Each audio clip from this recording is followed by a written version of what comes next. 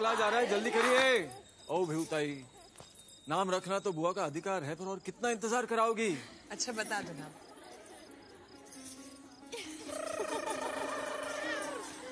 हाँ तो बताइए क्या नाम रखा आपने? रघुनाथ। रघुनाथ! रघुनाथ राहु होते तो नाम सुन के खुश हो जाते मीरा राघोबा अच्छा नाम रखा है माँ साहब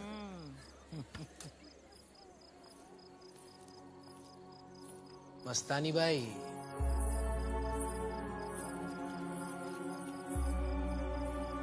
आइए आइए। सही मौका ढूंढ कर आइए आप। आइए। बहुत खुशी हुई आपसे मिलकर।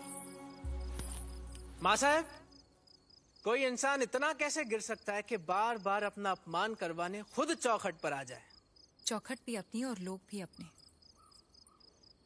अपनों से अपमान का डर कैसा? हम तो राव के बेटे को आशीर्वाद देने आए। आशीर्वाद देने आई हो या रिश्तों की भीख मांगने आई हो? राव की गैर मौजूदगी में हम बच्चे के लिए सौगात लेकर आए हैं। खुशामद करके पेशवा परिवार में शामिल होना ही था तो केसरिया रंग के कपड़े ले आती। सौगात में ये हरे रंग का विष लाने की क्या ज़रूरत थी? ये सच है कि हर धर्म ने एक रंग को चुन लिया है पर रंग का तो कोई धर्म नहीं होता। हाँ कभी कभी इंसान का मन काला ज़रूर हो जाता है जो उसे रंग में भी धर्म दिखाई देता है। राव देव चिमा जी किसके मुँह लग रहे हो? ये दुर्गा और दरगाह के बीच का फ़र्क ही भूल गई है। और आप शायद ये भूल गए हैं कि उसी दुर्गा की मूर्ति को सजाते वक्त हरे रंग का चूड़ा हरे रंग का शाल और हरे रंग की चोली पहनाते हैं। दरगाह में बड़े बड़े पीर फकीरों की मजार पर केसरे रंग की चादर चढ़ाते हैं तब तो रंग का ख्याल नहीं आता। राव ने हाथ क्या पकड़ लिया? ज़ुबान तलवार की तरह चलने लगी है। योद्धा हूँ। ठोकर पत्थर से लगे तब भी हाथ तलवार पर ही जाता है।